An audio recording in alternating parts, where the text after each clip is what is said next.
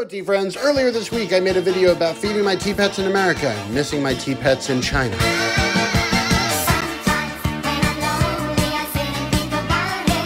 And oh my god!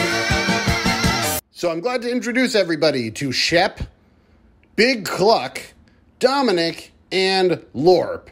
And no, I did not abandon them. I left China for what I thought would be a nine day vacation. The borders closed, and like all my objects in China, they are still there two and a half years later.